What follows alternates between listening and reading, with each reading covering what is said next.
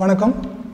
நம்ம எல்லாரும் ரொம்ப ஆவலாக எதிர்பார்த்துக்கிட்டு இருந்த ரெண்டாயிரத்தி இருபத்தி ரெண்டுக்கான பட்ஜெட் இன்றைக்கி வெளியே இருக்குது நம்முடைய finance minister Mrs Nirmala Sitharaman அவர்கள் இன்றைக்கி உங்களுடைய உரையை ஆரம்பிக்கும் போது கடந்த வருட சுதந்திர தின விழா உரையில் நம்ம பிரதமர் குறிப்பிட்ட மாதிரியான அந்த இருபத்தஞ்சி வருடத்திற்கான ஒரு பட்ஜெட்டாக இந்த பட்ஜெட் இருக்கும் அப்படின்ற ஒரு இன்ட்ரடக்ஷனோட அந்த உரையை அவங்க ஆரம்பிச்சிருக்காங்க.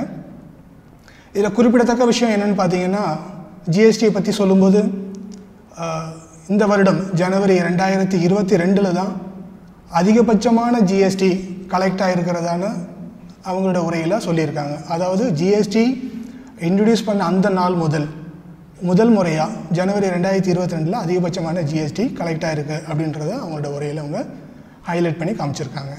அதுக்கு அடுத்தபடியாக இன்ஃப்ராஸ்ட்ரக்சர் டெவலப்மெண்ட்டில் பார்த்தோம்னு சொன்னால் ரெண்டாயிரத்தி இருபத்தி ரெண்டு இருபத்தி மூணுக்கான இந்த ஃபினான்ஷியல் இயரில் இருபத்தி அஞ்சாயிரம் கிலோமீட்டர் சாலை வசதி அமைத்து தருவதற்கான அதுக்கான ஏற்பாடுகள் செய்யப்படும் அப்படின்னு சொல்லி சொல்லியிருக்காங்க. டெலிகாம் இண்டஸ்ட்ரியை பொறுத்த வரைக்கும் பார்த்தீங்கன்னா ஃபைவ் ஜி அலைக்கற்றைக்கான ஏலம் இந்த ஆண்டு விடப்படும் அப்படின்றத அவங்களுடைய அறிவிப்பில் சொல்லியிருக்காங்க.